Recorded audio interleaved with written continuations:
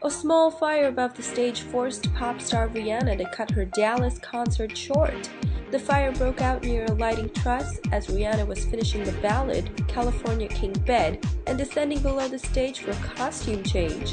As the world knows, California King Bed is her latest happening track. The video is sizzling and Rihanna looks hot in it, but performing the same track would set the stage on fire?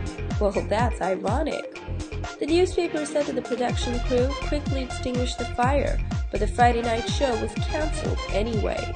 About 12,500 people were in the audience and were evacuated. The fire cut a short show even shorter, but the singer later tweeted that, We set the stage on fire tonight. Indeed, she did.